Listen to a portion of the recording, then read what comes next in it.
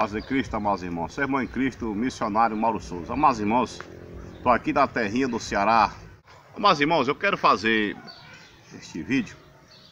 Eu prometi para Jesus, irmão, prometi para Jesus que, que eu ia entregar tudo aquilo que Deus me mostrasse. Eu sei que muitos não creem em revelações, muitos não creem em visões, cada qual tem uma opinião. Vai depender qual foi o ministério que você veio, qual foi o seu pastor, a maneira que você aprendeu. Uns crê só na palavra, outros crê só na letra. Enfim, mas essa não é a questão. Mas é, escute isso aqui, ó. Ah, mas desenho animado não é de Deus. Xuxa Meneghel não é de Deus.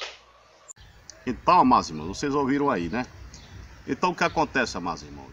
Eu vou passar para vocês aquilo que Deus me mostrou, certo? Deus não é Deus de contradição, né? Deus não é Deus de contradição. Deus não pode falar uma coisa para um profeta e para outro falar outra coisa. Eu, eu deixa deixar bem claro aqui que eu não estou dizendo que sou profeta.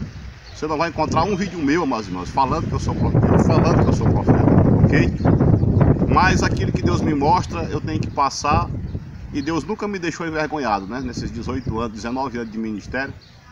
Mas eu quero dizer para os irmãos, dizer para vocês aí que gostam dos conteúdos, né? Aqui do YouTube, cada qual tem seus canais. Mas eu quero dizer pra, para os irmãos, isso aí não procede, tá irmãos? Não procede. A Xuxa, é, ela não é do diabo, né? Xuxa não é de Satanás, ela é, ela é de Jesus. Deus tem um plano na vida da Xuxa, né irmãos? Então, como eu prometi para vocês, que eu ia entregar todos os recados que Deus mostrasse, né? Então quero dizer para os irmãos que o que Deus passou para mim alguns anos atrás foi que o único impedimento da Xuxa, meus irmãos, o único impedimento que ela tem não é algum pacto que ela tenha feito no passado, eu não sei se, se isso procede, se ela fez esse pacto mesmo. Muitos dizem que sim, né? A única, única coisa que tem na vida da Xuxa é a vida financeira, né?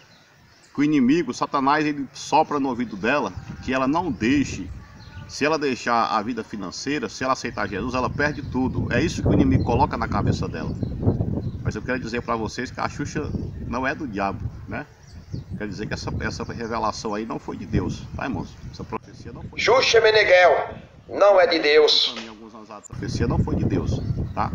Porque o que Deus mostrou para mim alguns anos atrás, que Deus tem um plano com ela, tem um chamado na vida dela, mas o que está impedindo ela as bênçãos financeiras, que ela é muito ligada nas coisas financeiras. E Satanás falou para ela, no subconsciente dela, se ela largar tudo por Jesus, ela perde tudo. É por isso que a Xuxa ainda não aceitou Jesus, por causa disso, tá irmãos? Mas dizer que a Xuxa é do diabo, eu estou desmentindo em nome de Jesus que essa profecia não é verdadeira, tá irmãos? Quem vos cumprimenta é seu irmão em Cristo, Mauro Souza. Se inscreva no meu canal. Este canal foi feito para desmascarar as mentiras aqui da plataforma. No nome de Jesus. Amém.